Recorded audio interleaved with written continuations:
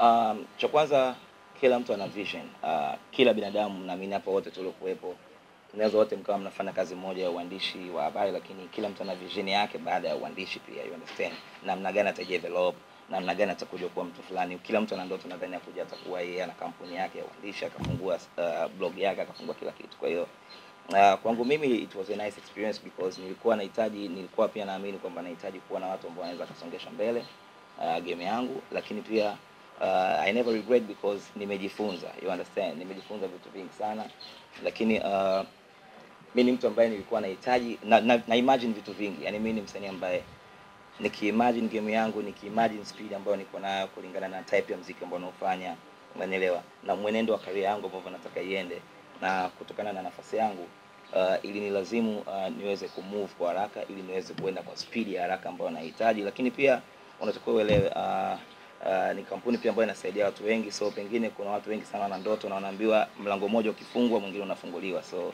napotoka mimi nadhani ni nafasi watu wengine kuingia. Najua mimi ni mfano uh, mimi ni kama leader.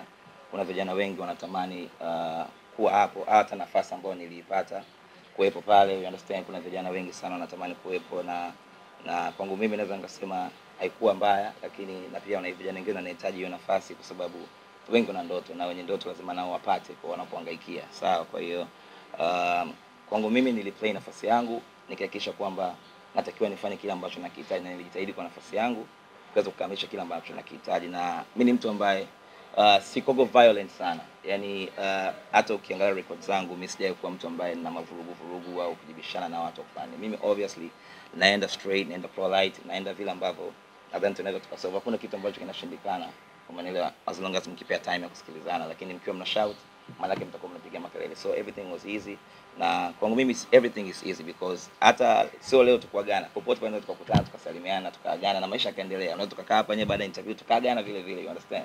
So kwangu mimi I thank God, na kama Mheshimiwa Rais Mama Samia Suluhu anavyosema kazi ziendelee, kwa inabidi kazi ziendelee.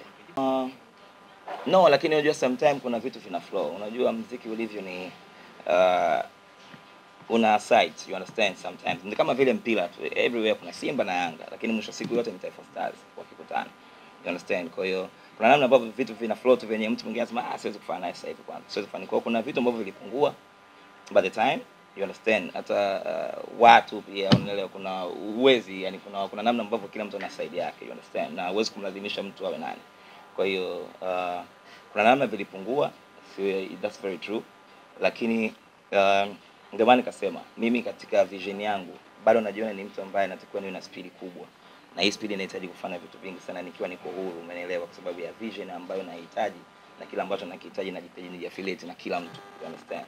Nahitaji nifanye vitu vikubwa zaidi yeah. Mm, uzuri actually mimi sijawahi kuwa na na, na, na, na beef na mtu yoyote, yani in, in real speak sense, yani sijawahi kujiaffiliate na kitu chochote, yani mimi naangalia sana maisha yangu na nimekuwa nikiplay part ya maisha yangu na hata nilipokuwa kwenye kazi nilikuwa nafanya kazi zangu, ukiniangalia nilikuwa siwezi kujiaffiliate na kitu chote.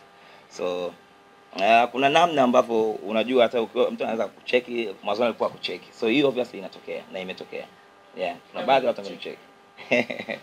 um, unajua actually uh, usi, usilenge tu labda Wasafi au nini. Ni mimi mimi nataka show yoyote. Mimi ni msanii na kama msanii hata wakati naanza nilisema hata ikiwa birthday party ya kwako, as long as kuna maslahi yangu ambayo najua haya nakidhi mahitaji yangu kulingana na na event yako, tukikubaliana nafanya, you understand.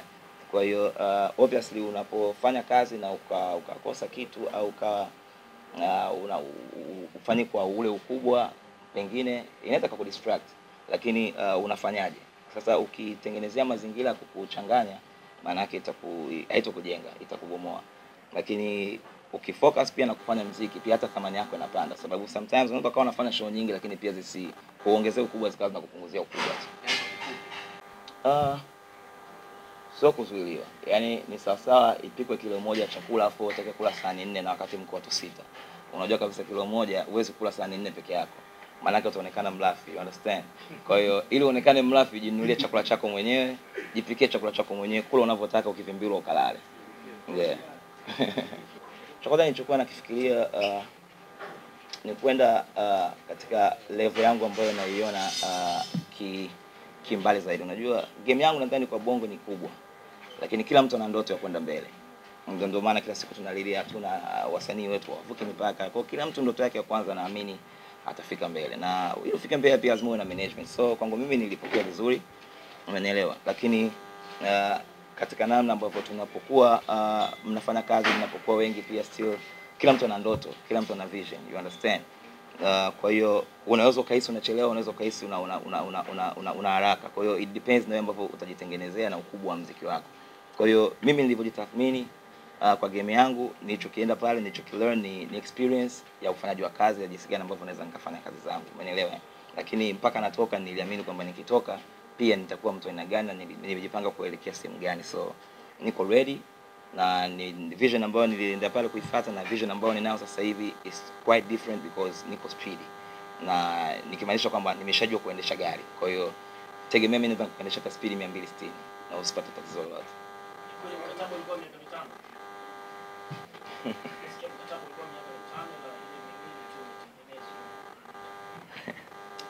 Cha pili. Kikao kipi? Kikao cha pili kipi?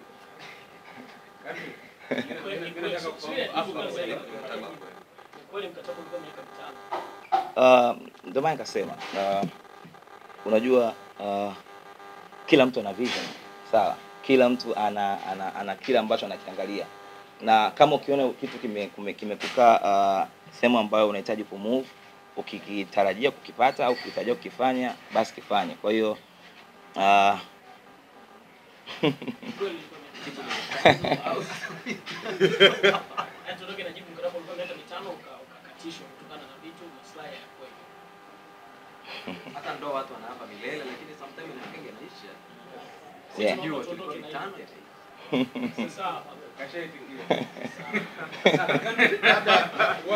labda nimsaidie msanii wangu jamani. Kwenye ule mkataba kuna kipengele cha kurekebisha. Yeah, kwenye ule mkataba wa kwanza leo saini msanii kuna kipengele cha kurekebisha. Kilikuwepo. Wewe leo kulikuwa kuna kipengele cha Mkataba haukuwa unajitosheleza. si ndio? kwenye Yeah. mkataba wa kwanza kuhusu kuhusu jina of course tu ilikuwa na zile rumors kwamba washikaji walikusaidia wali- walikushawishi Mm. change kutoka country boy Mm. kwa country wiz Yeah. Unajua wasanii ambao walishai kusaidiwa kubadilisha majina waga kuna vitu ambavyo vinatokea vingi sana Yeah. yes ah hili ni kweli wali kutoka country box kwa country hizi. ilikuwaje Uh, cha kwanza kama unakumbuka Country Wiz ni AK ambayo nilikuwa nikitumia way back. Uh, hata intro za nyimbo zangu nasemaga it's Country Wiz baby. You already know, huh? You understand? Kwa hiyo ni jina ambalo uh, nimekuwa nao kwa muda mrefu lakini ni jina ambalo kwanza limetokana na inspiration ya watu ambao nilikuwa nawapenda. Mtu kama Lil Wayne alikuwa anajiita Lil Wizzy. Mtu kama Kaubama alikuwa anajiita Kau Wizzy. You understand? Na ni watu ambao wamenitengenezea mimi mziki wangu. Kwa nikasema nawaona wao katika game yangu na mimi pia ni country boy inaweza kajikaa katika country wiz. Kwa hiyo nikawa nimeflip hivyo kujitengenezea ule ukubwa wangu katika namna ambavyo nawasikia katika jicho langu ambao nimejitengenezea mziki wangu. Lakini maana sababu ya kujibadilisha kwa kwa, kwa, kwa haraka zaidi ni kwamba Country Boy uh, alikuwa ni kijana ambaye ame, ame struggle kutengeneza game yake kwa muda mrefu sana na amekuwa inspiration kwa vijana wengi sana ambapo imefika time watu wanamwangalia kama father of new generation. So tayari amekuwa huyo, huyo tena kuwa boy.